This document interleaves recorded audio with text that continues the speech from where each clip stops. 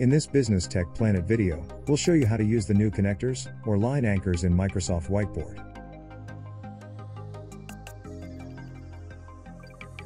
The connectors are designed to make it easier to align and position objects in the whiteboard. Let's start by creating some shapes. We only need a square to demonstrate the connectors, as all shapes are bounded by a rectangular box, from which the reference points for the connectors are formed. We'll resize the second shape. Now, when we drag the second shape around the whiteboard, you'll see a line connector, whenever the borders of the object you're moving line up with the top, middle or bottom of a nearby object.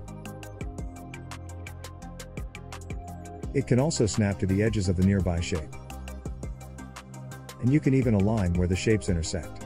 This allows you to easily place an object centrally over the corner of a different object.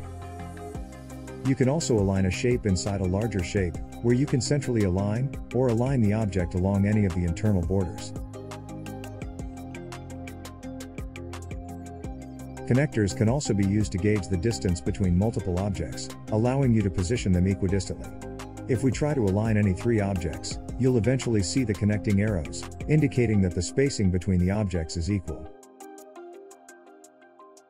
You can also align multiple objects by pressing Ctrl or Command, and clicking a new object to select more. Once you've selected multiple objects, they will become bound by a rectangular border. The new border will then be used to connect with other objects on the whiteboard. Currently, connector lines work with all objects, except for drawings with the ink pen. But this may be updated at some point in the future. That's all for this video. Thanks for watching. Don't forget to subscribe for more Microsoft videos.